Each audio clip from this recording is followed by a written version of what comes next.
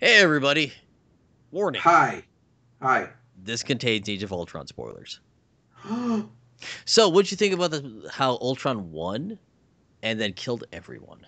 it was pretty crazy. I thought of all the characters who may join Ultron's cause, Captain America would not have been my first choice, But he, uh, especially after he broke uh, Hayley Atwell's neck to do it. Not, uh, not what's her name? You know, not Agent Carter. Actually, Hayley Atwell, the actress, that broke was, her neck. that, that, that was bearing. But, you know, he then convinced him with that, like, that screen of cat videos.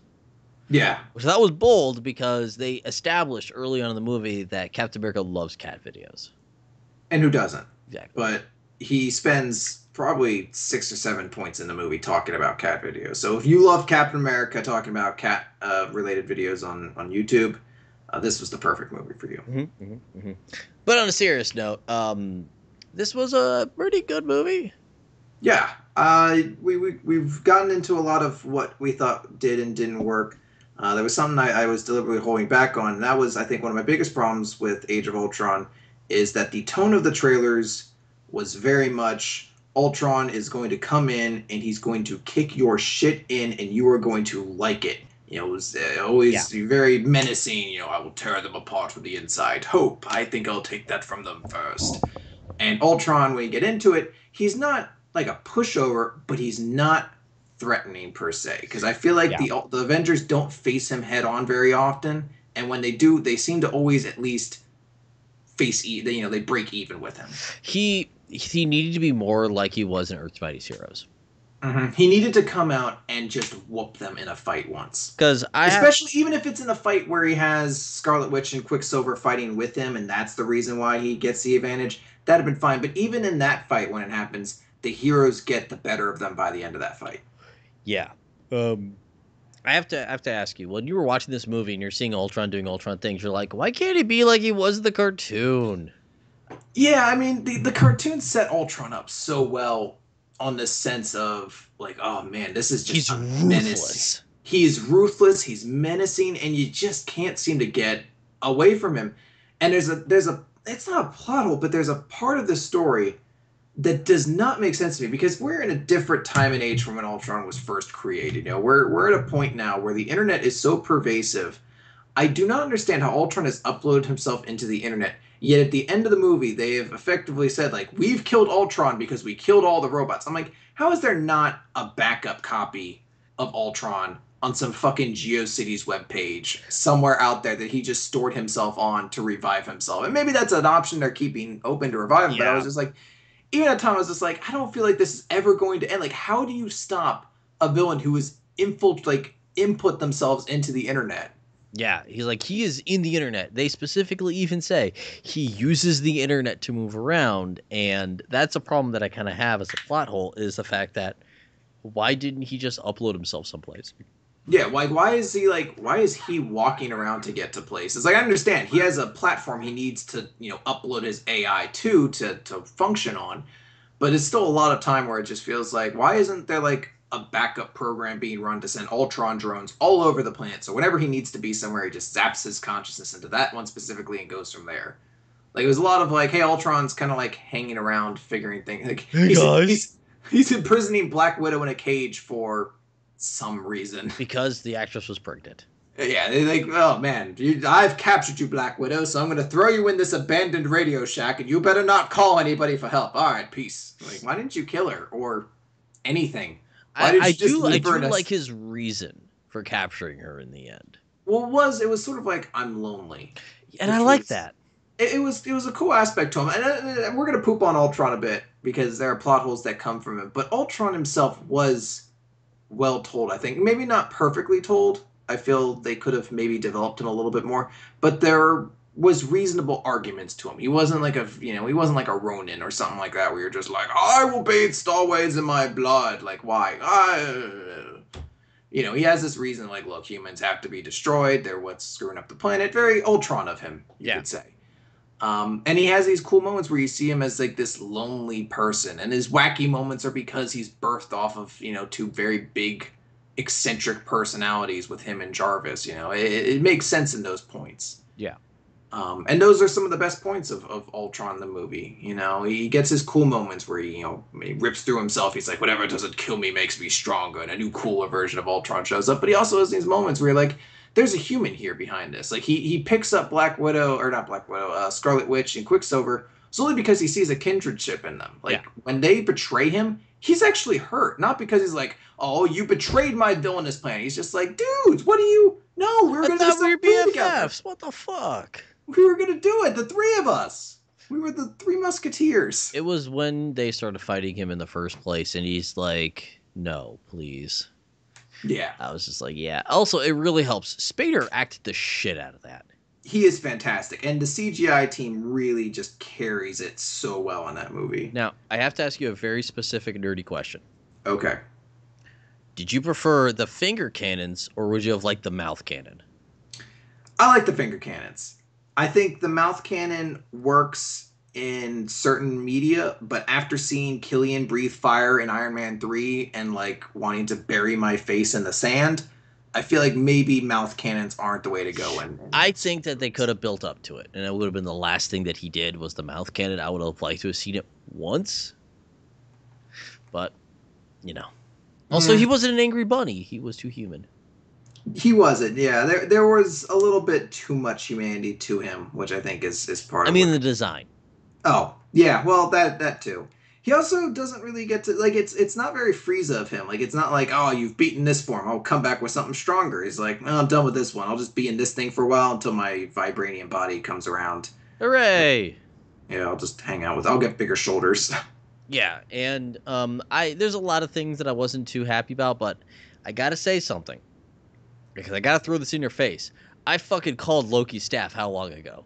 you did. Uh, I've been one of those people who have been staunchly in the camp of it's not an infinity gem. They couldn't possibly have well, Thanos wouldn't have been so stupid to give an Infinity Gem to retrieve another Infinity Gem. That would make him a big dummy dumb, considering he doesn't have any other gems, presumably. Uh, and then that is exactly what happened. It turned out uh, that not only is it an Infinity Stone, the Mind Stone, it is now also the stone that powers Ultron. Or not Ultron, Vision. Yeah, um, I still stand in the camp that he did that because the Tesseract was such a big one to get. I've also heard the notion of him kind of doing it because he isn't adverse to the idea of losing it because he's like, look, if they're all in the same place, whatevs. It just makes things easier for me when if I do have to finally get shit going, which Yeah. is what we saw at the end of this movie with an awesome mid-credit scene. And I have to say, uh, like, in Thanos' defense, what would you rather have, space or mind? Yeah, I mean seriously, he doesn't need to mind control people. He just forces them to do his shit. He's like, I'll just rip your face off if you don't do this. Exactly, but the space gem is incredibly important for him to have. Yeah, Which- I I hope there's just a passing line to that at some point during Infinity War. Just something where he's like, I didn't care about losing mind. I don't need to control minds, but the ability to move through space uninhibited. That is power. you know, That is that is very powerful because like once he gets the space gem, he could do whatever the fuck he wants. He can go everywhere. He can just get to wherever he needs to. And there's there's two things that I'm thinking of structurally speaking, and I know that we were talking about spoilers, but this is this is spoilers for the whole thing as a whole. That Infinity War Part One is going to end with Thanos having all of the gems. It should. Infinity War, hopefully, it's tough because I thought that you know that's the tone I thought they were going with with Avengers: Age of Ultron. They were going to be like, look, shit's going to get real for these guys, and shit sort of got real for them, but not in the sense that I'm like by the end of the movie it's like what a broken team. No, the, their Avengers are stronger than ever at the end of this movie. Except for the fact that a lot of them have quit. Um, Yeah, well, yeah, that's that's the aspect. I mean, there's there's very few character deaths in this movie or anything like that. But my worry is, I'm like, I can they change that when Infinity War comes around? Because if you're split into two parts and you end part one with Thanos with the gems, shit needs to have gotten real. He can't just be like, I've gotten the gems, and eh, like all the Avengers are standing around like, oh man, like it needs to. I I need to see, and I hate to say it, being the fanboy, but I need to see that Captain America's fucking corpse at his feet when he does it, or oh, something like that. Like, That's I need, gonna happen. I just need to see like a big weight that's gonna make me be like, how the fuck are they gonna stop that? Because you know he's gonna kill Vision. Yeah, he has to. He has to get the gem from him or something like that. Like we're at we're now also starting to reach the point where Marvel is getting a cast of heavy hitters in the Avengers. You know, we have Yeah. Vision in there. You have Scarlet Witch, who's maybe not as powerful as her comic book counterpart, but, But still you very just have a place to go to. yeah. You can't start still, with House of M, Scarlet Witch. Yeah, but it's still like a case of like she's a very powerful character. They're gonna presumably have Doctor Strange around that time. Uh, Captain Marvel will probably be appearing. Like you're gonna have huge characters in the MCU at that point. So it's it's you know to start ushering them in. You just start kind of like oh, do we need Hawkeye anymore? We really need Hawkeye to shoot arrows at Thanos. We need Black Widow to fucking get Hulk to, to pop a nut and turn back into Bruce Banner. Now I don't think so. uh, But- it's quarter lullaby. yeah, exactly. But that's that's the big thing is that there's an obvious build that's happening, and the problem with this movie, and I, we didn't really were able to get into it completely, is when I'm talking about keeping all the balls up in the air, is the fact that this has to keep in the infinity in the air.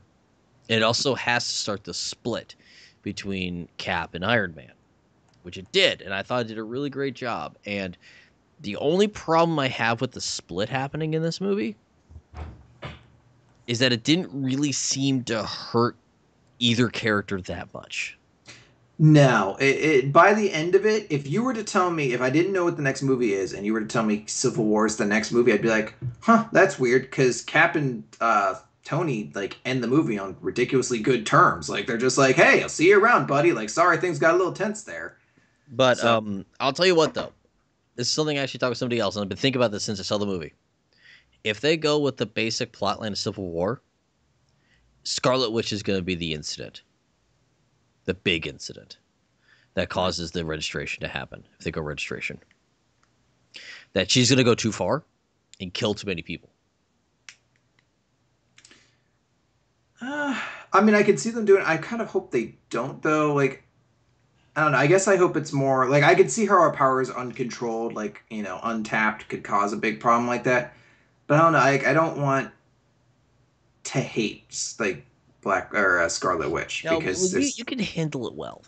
You can handle it well. if they handle if they handle it right, I could see it working. But I, I worry that it's just going to be like, oh, like, oh, great. The other female character is a fucking bitch. You know, like she's a fucking crazo, like loon bag. Oh, great, cool. Well, to be fair, she's a ticking time bomb because of what happens in Age of Ultron. She seemed well adjusted to it. I don't know why we're dancing around it. Quicksilver dies. Like, he you're- He, has a good death, though. He does, and I, I I've heard people shit all over Aaron Taylor-Johnson. They don't like him. They don't like the accent. I think the accents are maybe a little too cartoonish Yes. for it. Yes, but- But otherwise, I, I really liked. I, I thought he was good in the role, and it is very sad. Uh, I think the thing here's the thing. You know, everyone's comparing it with uh, Days of Future Past, Quicksilver, and they're different characters because eh, eh, Quicksilver from Days of Future Past wasn't even a character; it was a spotlight in a movie. He had no real role in that movie beyond, hey, look, I'm going to do this really crazy scene that really doesn't have a power scale to it, and technically I should have been able to solve the plot all at once if I had just hung around. But in this movie, you have a you have a full character, and the thing that I love about him is they make him a hero. There is a scene in the movie, and I mentioned like, oh, we should cut the whole stuff in uh, South Korea because we don't need it. The, one of my favorite, and maybe my favorite scene in the whole movie is Cap, uh, Scarlet Witch, and Quicksilver are on a train that has fallen off the tracks and is going out of control. Mhm. And Cap's like, we have to stop this train. So Scarlet Witch focuses her power. She's trying to slow the train down by like, you know, forcing the brakes, like just by stopping the momentum. And while she's doing that, Quicksilver is running out in front of this speeding train, grabbing people and moving them out of the way. And I was like, fuck yeah, these guys are goddamn superheroes. Like that's the coolest thing in the world to Yeah. me to see. That's why, like, when it comes to that action scene, that's why, like, I'm I'm pretty cool with it because it builds up to that. Yeah, like that scene's absolutely 100% worth it. One of my favorites in the whole uh, whole movie. It really helps their arc, because let's be honest, if anyone's going to inspire people to turn good, it's going to be Cap saying, like, we need to save people. Well, don't forget, Hawkeye can make you an Avenger. Yes, exactly. He has that. He has that permission. He actually has extra uh, cards in his back pocket, just hand to people. They want Yeah, he's Avengers. just like, hey, if you step out this door, you're an Avenger, and it's just like Spider-Man, like, what, me? Huh? Oh, I can be an Avenger now. We and, uh, and you know what? We didn't really talk about the big lull in the movie, but Hawkeye is like the heart of this movie. He is, and it's tough because the way they present him, they're teasing the entire movie that he's going to die. Oh, they did. Is it's like, hey, he has a family. Hey, he has another kid on the way. Hey, he's like, this is the last mission, honey. I promise. I'm Hey, gonna. I'm after this. I'm no longer going to do any more renovations on our house. Yeah, like you're just like, oh god, you're gonna kill the shit out of this guy. And it was, you know, it was planned to do that because the, the big thing is, you know, looks like he's going to die. Quicksilver speeds in, saves him at the cost of him dying. He's like, bitch, you didn't see that one coming. Um, Cousin, let's go look at some Ultron titties. yeah, Natasha, let's go find if uh, we can kill Moose and Squirrel. Uh, I'm, I'm gonna go with the Grand Theft Auto one instead. uh, but no, it, they you know they, they kind of give you the bait and switch on that. But if you take that away, it's it's still like wow, you made Hawkeye maybe the most compelling character in this movie because he gets cool scenes. You know, he doesn't have maybe as many cool like arrow firing scenes just because everyone has less time to show off their stuff. So you really don't get to see too many of his cool things. But he has this great moment where Scarlet Witch is going around, she's fucking with everybody's heads and getting them into going, they're like, oh, my life is so sad moments. And she tries to do it to him, and he just fucking embeds her skull with a fucking lightning arrow. He's like, nah, no more mind control for me. I've had it once, never again. I, I almost applauded at the scene. It's like, oh, thank God. that Hawkeye's like, yeah, you. It's happened to me before. No, I'm good. F that. I'm not spending another movie fucking mind controlled. that was that was a really good scene. The only other really great quip he had was when he was going when he was pretending that he was gonna kill Quicksilver. Oh, and it's so sad now in hindsight, but it was a great line of time. He's like, I'll just tell him that uh, when I found him, Ultron was saying on him. Oh, poor kid. Didn't see it coming. Oh, oh man, no one would ever know. He, he is great. Uh, Hawkeye is legitimately a great part in this movie. He plays a big emotional role for uh, Hawk or uh, Quicksilver and Scarlet Witch. Eventually, kind of. Uh, And as, and as his wife even says, he's the heart of the team. He is. He, you do actually get the sense that the team needs him. Like you know, the first movie, you're like, oh, whatever. He's just a guy who fires bow and arrow. But in this, you're like, no. With all these big, superpowered guys, with all these huge personalities, eh, Clint actually does have a role, kind of being a a, a, a heart to the team. You know, Yeah. to, to being this this core figure. Yeah, and it, that's one of the things that I loved about actually seeing Clint actually do stuff for once. And I'm like, this is the Hawkguy I've been waiting for. The Hawkguy. Finally, Hawkguy is here. Comic joke. But um that was that was really nice to finally fucking see him actually not being an asshole. I was like, yeah, he's just not making occasional quips and shooting arrows that he's not looking at. Which there's a really great joke in the commentary, and I wish I did in the movie where um, Joss actually says, "I can never get enough of Hawkeye not looking at the arrows he's firing."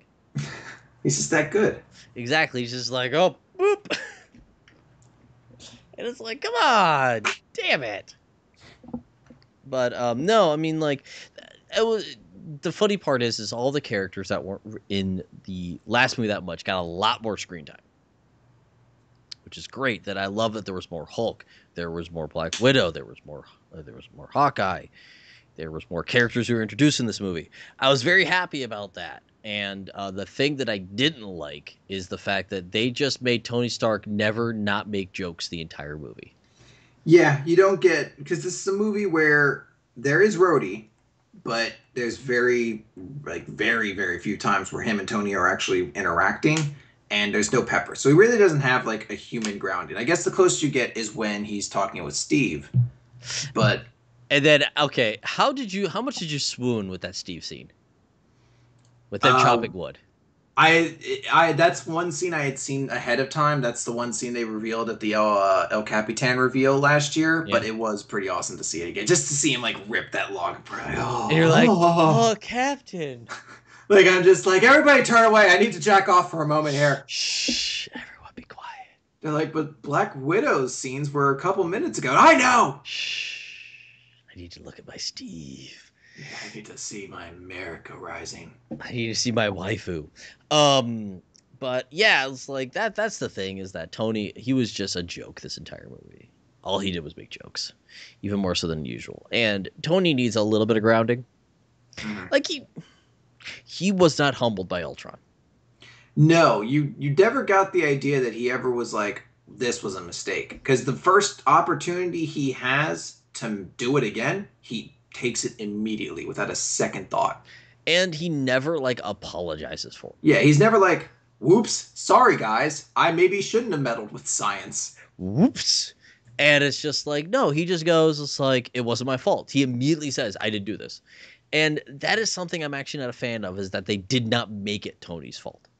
Yeah, I, I guess that's them saying like, ah, we don't want to, we don't want to make, you know, Robert Downey Jr. someone that people don't like because it's, it's just impossible. But it's like, look, when you get to Civil War, you either have to you have to code it in some way. You have to show there are times where Steve Rogers is going to be wrong, and you have to show there are going to be times where Tony Stark's going to be wrong because it's it's an issue with layers. So this would have been an opportunity for them to kind of go into that because they do show that Steve's wrong at points in this. They do, they, and then Steve owns up to it. Yeah, Steve owns up to like, yeah, you know, this Vision guy, I guess he is a cool dude. You know, maybe I shouldn't have been so skeptical of him from the start. And I guess that's also probably the whole Tony in the first place is someone who doesn't admit his defeat. But the problem is, is that when you don't have him feeling an ounce of remorse over creating a genocidal robot, and we don't have an Iron Man 4 to fill that role in. Because maybe you could say it'll be like how you know Iron Man 3 was him dealing with the effects of Avengers uh-huh. you know. Maybe this will be him having more post-traumatic stress because his design did ultimately like, even though everyone we see get attacked in this movie they showed the Avengers saving we still know there were casualties. We still know people died. You know they yeah. even mentioned at one point that anyone who tried to engage Ultron died. So people have died because of Ultron. Speaking of people died how about that Strucker Good God! Wow. Yeah, they they're really just like making it like, all right, we're just cutting every head off of Hydra because fuck it, let's just get rid of this. Okay, I have to say, they fridged fucking Strucker. He definitely did not get any real opportunity to be like, oh, this Strucker dude, look at this. This is an intense guy. This is. And he was just Whedon too much. Yeah, I, I, I did love his line of like, you know, we will never surrender, man. All right, I'm going out there to surrender. Like when he's talking, like I did like that line, and it, it came with a reason to it too, of like I'm going to pretend to surrender and all, you know, so on and so that, forth. But that's was, that's what was actually I was referring to. That's a too Joss Whedon of a line for someone like Strucker. Yeah, and I, and then it's like we see Strucker, Strucker's dead, and we're like, I actually groaned in the movie theater when Strucker was dead, because it's like Strucker's actually a really cool villain He's a really he good is. cat villain, and we just off screen killed him. It, it, was strange to see Strucker. Like it, was like, all right. I mean, I, I assumed he wasn't going to be the main antagonist here, but I was like, maybe they'll save him for Civil War. You know, him and Zemo. Like, you know, nope. Yeah, well, we just got rid of him. Yeah, they fridged him. They literally fridged him because he had no character whatsoever. Like he's not in the he show, was, and he never says. And this is the biggest maybe the biggest problem with the entire movie, or the biggest crime it committed. He doesn't say Hail Hydra once. There's not a single Hail Hydra in the entire movie. Fucking ridiculous that he doesn't just at one point just be like, I'm going to surrender now, Hydra. Like I just, if they had said it even just once, I'd be like, okay. But the, for them to have Hydra in this movie several times, he doesn't say it once. Fucking uh, abomination. It's heresy. Yeah, and it's just it does bug me. It's just like, guys, come on. Can you stop killing every villain? All the interesting ones. And the ones, see, the thing is, like, if you're killing a villain who's the main villain in the movie, that's passable. I hate it because it a lot because then you don't have something like Loki, mm-hmm. where uh, we don't know what's going to happen in Thor three with Loki still being around. One thought I, I heard that was relatively interesting to me. I, I don't think it's going to happen. I think it's coincidence more than anything else. But it's worth noting that some of the biggest villains have been killed by Infinity Gems. Yep. And the, the idea being that maybe they aren't dead, like some aspect of them survives within those gems, and that's something that uh, Thanos is able to take advantage when he has the gauntlet. Because, you know, Red Skull, Ultron, um, Malekith and Ronan were all killed by Infinity Gems. Mm-hmm. So potentially, some aspect of them could still be around and utilized. Maybe it's a theory. That would be cool. But... It would be awesome. Like get like a small Masters of Evil storyline going into. Yeah, who leads the Masters of Evil? Well, Baron Zemo tends to. Is the Strucker usually involved at least a little bit? I'm going off of Earth's Mightiest Heroes, where uh, Zemo was involved, and I don't think I've seen an incarnation beyond that. So let me. Let's just say Strucker's involved because we don't have a Zemo.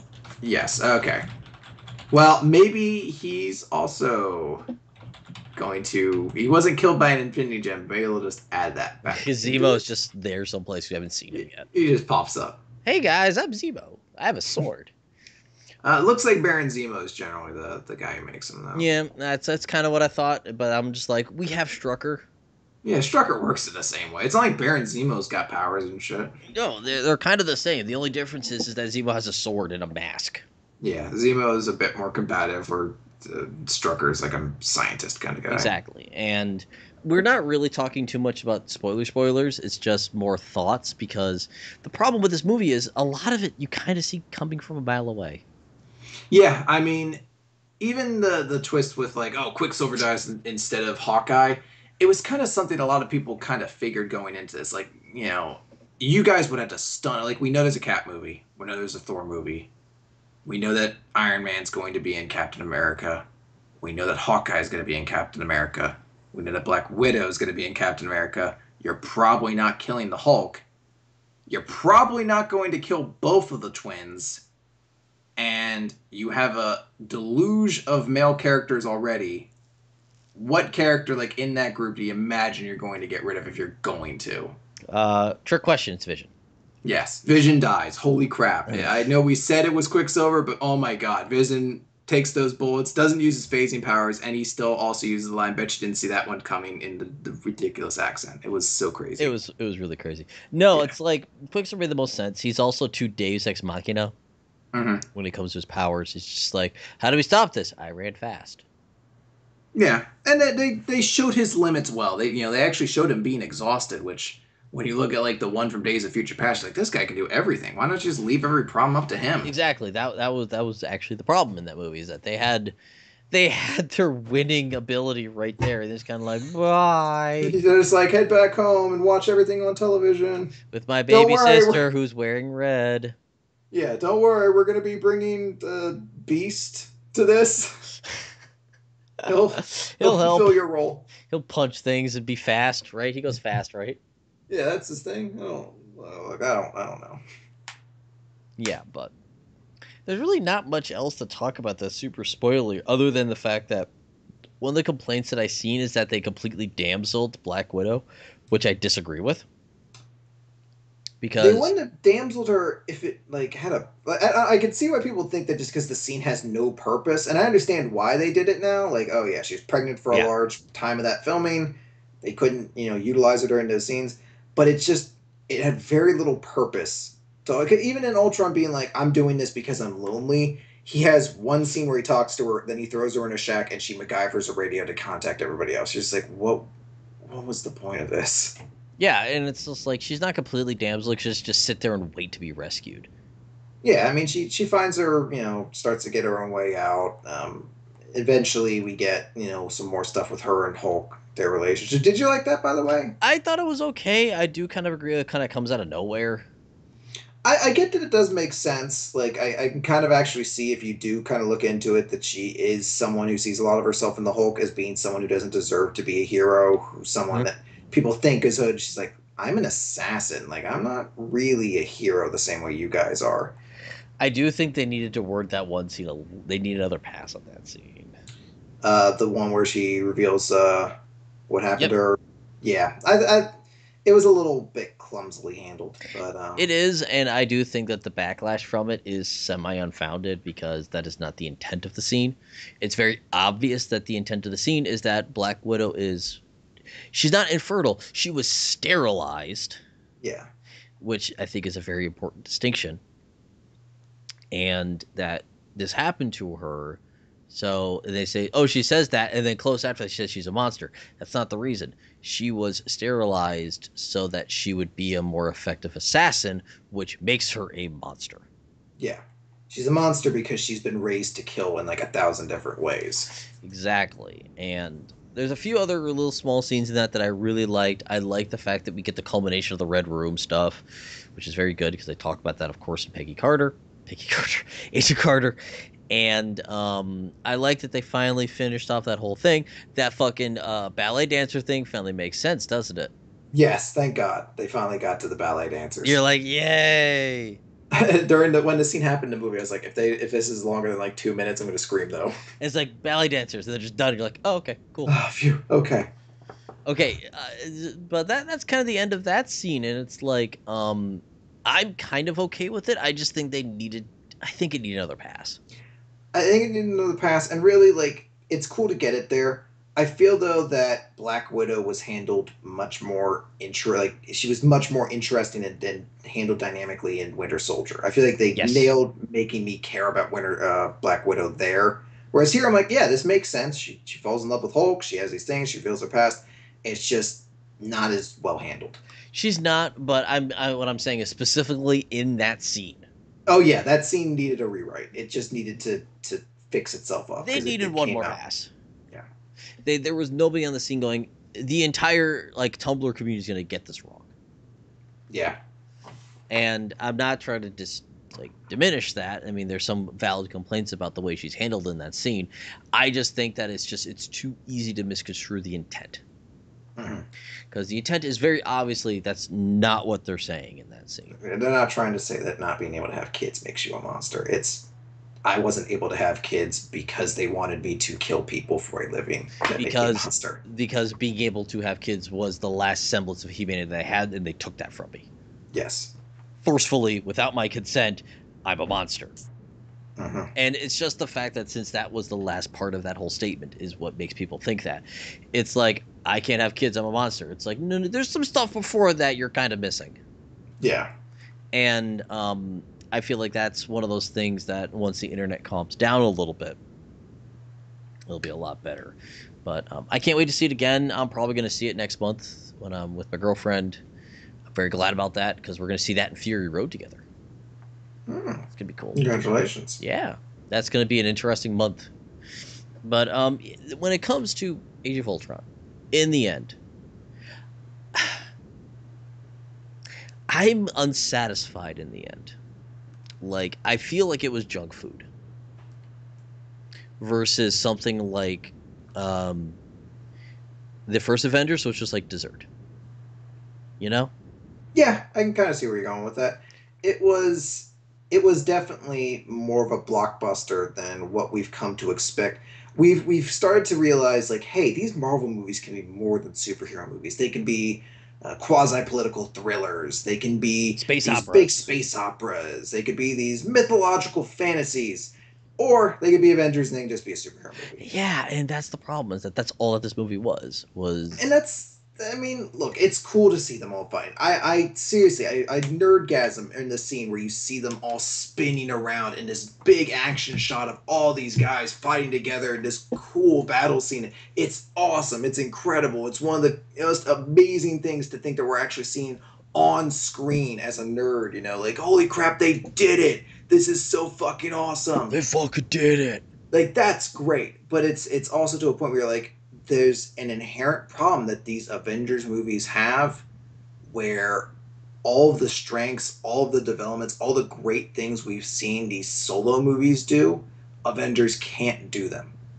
Yeah. so it's like inherently i now have to recognize avenger movies won't be as good as the best solo movies marvel can do Yeah, and I'm that's what I'm kind of hoping the Russos breathe new life into the Avengers movies because there's a lot of reports out there that Joss did not want to make this movie. Yeah You can kind of feel that. you, you can definitely get some sense that a lot of the passion was not there No, it wasn't. Um, and I have to say that as a plot, uh, this was not the thing that needed that Joss needed to do. No. This was not the movie that Joss needed to make, and it may and it pains me to say that because I'm a huge fan of his work. I've been a fan of his work since I started watching Angel, back when they came out, and it just hurts to say that. I, w- I kind of wish Joss had to make this movie. Yeah. Yeah. It's a shame that he just happens to be kind of the best guy for it. Mhm. Yeah. well, at least we got uh, Civil War and Guardians 2 to look forward to when it comes to big team up movies. That is true. I, I think I'm, I'm very excited. We'll see basically. Civil War is going to be a big showcase to see how the Russo brothers will handle Avengers since it's essentially Avengers oh. 2.0. It is, or what did, what did Or Anthony 2.1. Mackie say? Like it's Avengers 8?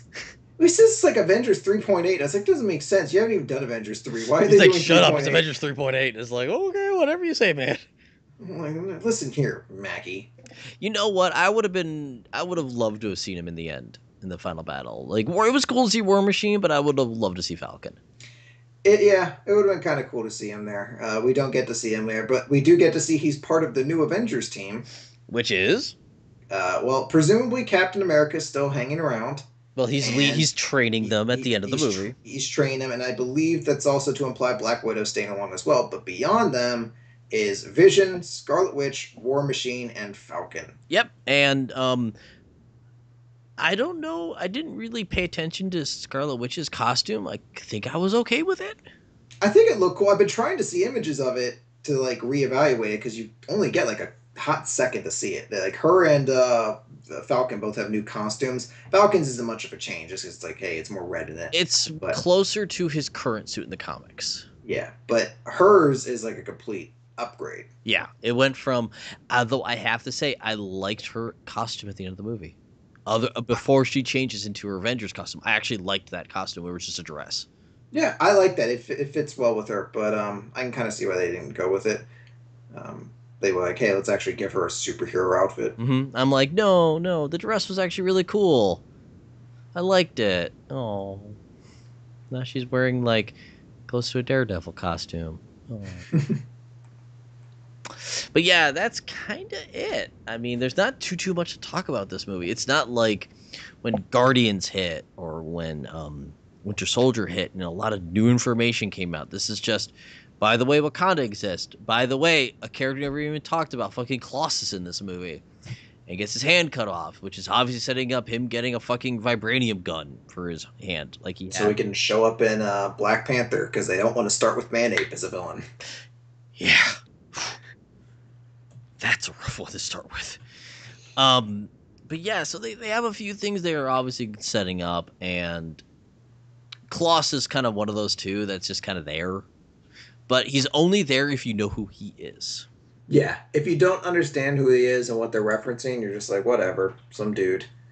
But if you do actually get it, you're like, oh, that's kind of a cool. It's it's cool, but but the whole Wakanda stuff is interesting and whatnot. But in the end, I I do feel like this movie is just kind of junk food. It's it's kind of unfulfilling in a lot of ways, just because of the fact that it does really suffer from too many balls up in the air, and it really feels like the culmination of what we've been leading up to is going to be Civil War, as opposed to this movie, which is disheartening in a lot of ways. Mhm. That's my opinion. No, I completely get it. Uh, some people will, will definitely, some people really gravitate toward this movie. I think the best way to go into it is don't go into it expecting to, to leave maybe with the same feeling you had when the first Avengers. The first Avengers was a spectacle. That can't really be replicated. You know, the first Avengers isn't even that great of a movie when you look at it because No. there's really not much to it. There is. It's just, hey, they're all on the same screen. You can't get that this time through. The movie needs to hold itself up a bit more, and it does have more of a complete story, but it's it's just hard to live up to what you had after Avengers. And I feel you'll enjoy the movie better if you kind of go in like, hey, I'm aware these things aren't going to be great. I don't know why you'd be going into it the first time though. If you're listening to the spoiler cast, maybe I should just stop. But uh, I'm like, you you've listened, you've heard everything now. Uh, but no, if you if you go into it without the high expectation of like, oh, the trailers made it look amazing and Marvel can't miss and all that. it's gonna be you go in- darker. Yeah, if you just go into it saying, "Hey, I wonder, I hope this is going to be good. I hope we get some cool scenes, you know, stuff like that," you'll be pleased. Yeah.